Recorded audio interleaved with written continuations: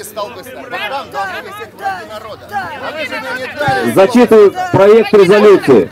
Поэтому, господа, коммунизма не будет, Советского Союза не будет. А по Волгу. Так, товарищи, Вот если вы будете их резолюция митинга жителей города Орска. Город Орск от 5 марта 2013 года.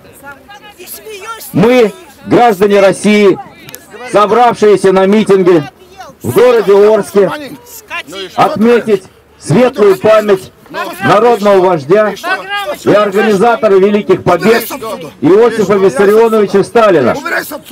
Отмечаем его огромное значение для судьбы нашей Родины, особенно явно проявившееся сегодня на фоне неограниченного беспредела и коррупции в органах власти всех уровней. И требуем, первое, Мы говорили... от администрации города Орска и городского совета депутатов принять решение о переименовании проспекта Мира, проспект Я просто против коммунизма. Этим актом арчане вернут историческое первоначальное название одной из главных